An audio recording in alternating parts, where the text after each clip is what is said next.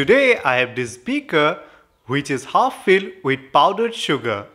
Also I have this bottle which contains concentrated sulfuric acid.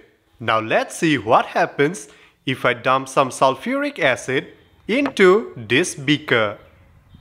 First let's remove the cap and carefully pour some of it into the beaker. And now we have to give the mixture a good stir. As you can see, the mixture has started to turn black. Now carefully watch what happens. The sulfuric acid converts the sugar into carbon, which in turn forms this strange carbon structure.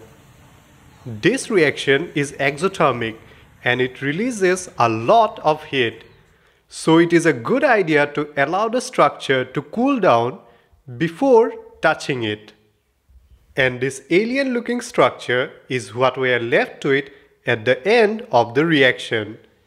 It might look sturdy but it is very fragile and easily breaks on application of pressure.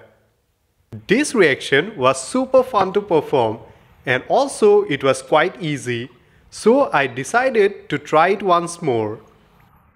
This time I used a slightly different sulfuric acid to sugar ratio expecting a different result. But the structure formed was almost identical to the first one but a bit smoother. Now if you are planning to perform this experiment remember that this reaction releases sulfur dioxide gas which can cause temporary breathing difficulties if inhaled and can also cause irritation of the eye.